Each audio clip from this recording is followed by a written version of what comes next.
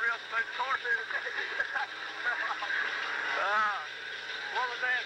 Uh, uh, well, we must sign off here.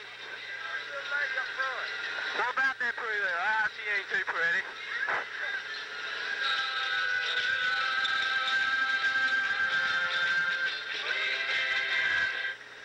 Everybody, I'm Doug Millar with Jackson Central Merry High Sports, and here I am with Gary Booth. Yeah, that was uh, Michael Mine, the president of our school, going right there.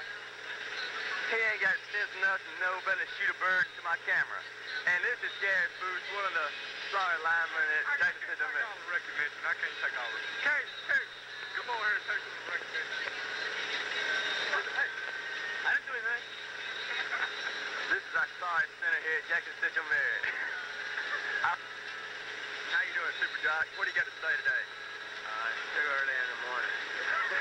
What's going on? This is uh, WJCM TV signing off. It's unbelievable how our standings go. We've had three meets so far this year, we've come out real low in all three of them. We're planning to really come back this year. We've, what you got to say, Don? Not much, man, not much. Hey, what is this? Wait, wait, I said it back, see my seatbelt on. He's taking curves 55 miles an hour. Come on, man, be cool, man, be cool. No, man. I'm talking about this. Don't ever ride with him.